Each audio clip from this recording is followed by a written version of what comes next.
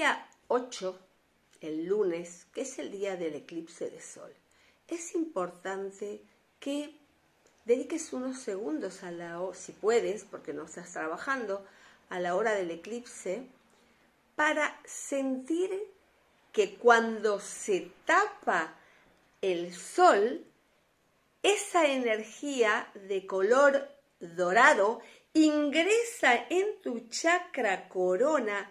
te ilumina todo el cuerpo,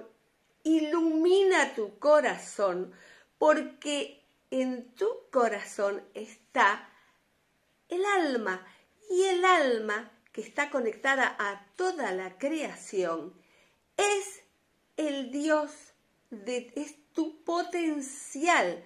y eres tú quien creas tu realidad. Entonces, cuando se provoque ese eclipse, tú aprovecha para toda esa energía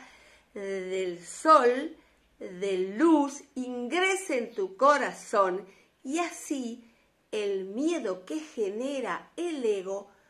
se va a